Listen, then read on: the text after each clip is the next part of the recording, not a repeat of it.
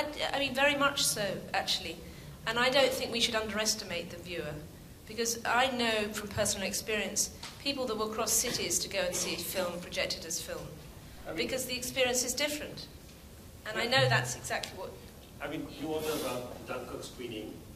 I was just giving that example 70 mm Dunkirk screening IMAX Wadala and 35 mm Interstellar at Liberty. It took 10 minutes, just 10 minutes, for the tickets to be sold because it was about 70 mm. People want to experience to see a film the way the creator had created it originally. And I think that's the respect which we must have and we must feel for it. So here you are. I mean, Chris wants to add to that. It's also a good film. Give it a break.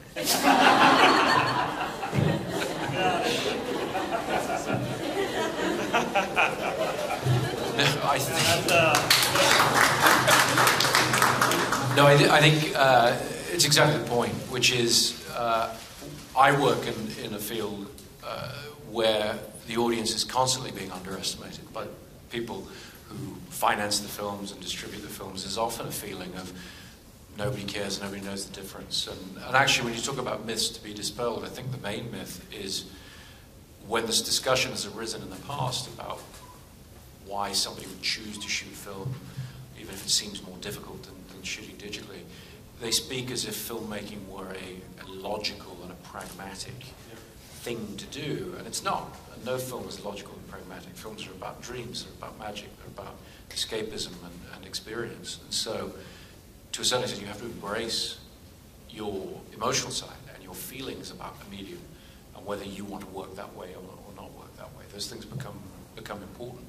And I think we see that just as much from audiences as we do from, from filmmakers. We're constantly in dialogue with audiences. Indeed, we are the audience ourselves. And uh, we forget that at our peril. In some way, I feel uh, not enough choice has been given to the audience too in India. You know, yeah. they, they don't have, I mean, really, if you really want to see a film on 35 mm or 70 mm, where do you go and see it? And that's what we, that was the whole point of the dialogue, that to make that space available to see whether exhibitors can come forward, where they could be. You know, I was just before uh, got in touch with me, I was in constant dialogue to have 35mm screening in the preview theater of Liberty as a club where they can experience the 35mm because we didn't have our own space. Uh, we don't have a museum or a space because we're a very young foundation. And uh, I think this dialogue will help that to, to sort of feature. Even the, even the NCP, where we are going to be talking, they have 35mm screenings, they have 16mm public projectors but they haven't been working. And the inspiration we will get out of this is the fact that you will see them running back soon. So I think the viewers are going to get it. it, it it's going to change. And uh, we hopefully, this dialogue will help us to make it very soon.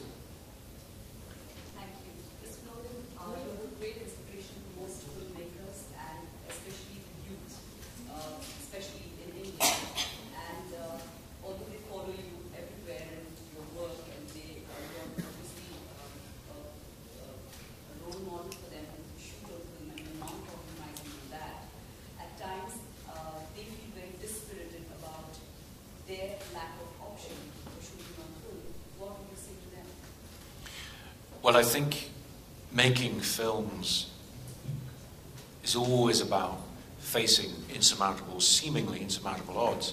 Anybody who tries out to go out and direct a film um, and has to get a budget, has to get a crew together, has to surmount all kinds of obstacles. And so I'm just trying to position uh, and empower filmmakers to, to view their choice of medium as one of the things that they have to fight for. Uh, and none of these fights are easy, uh, particularly when you're starting out. Uh, but they're all worth fighting for, and they're all part of that tension and that process that filmmakers go through to tell the stories uh, that they want to tell. And I think some of that tension can actually be uh, productive because you're made to think about what's important to you and what you really care about and what we want to see as film goers on screen are stories and presentations that the people who made them care deeply about.